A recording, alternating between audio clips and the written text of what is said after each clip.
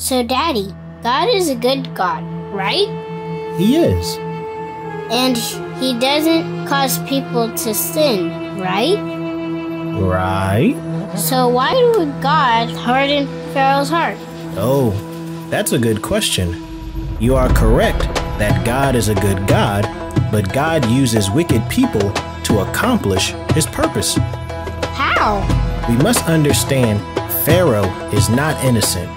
He enslaved the Israelites, he ordered the male babies to be killed, and he refused to let God's people go. So, why does this God harden his heart? It seems like he was doing that all on his own. You're right.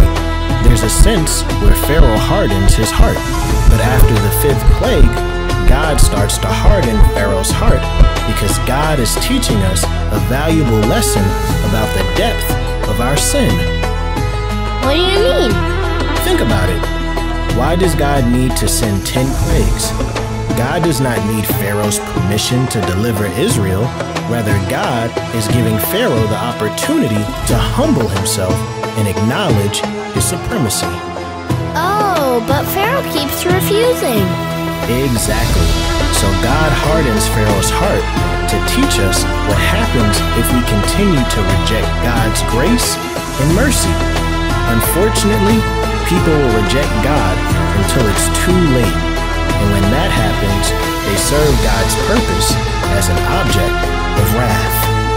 How is that fair? Oh, Autumn, the question is how is it fair that God shows grace to us in the first place?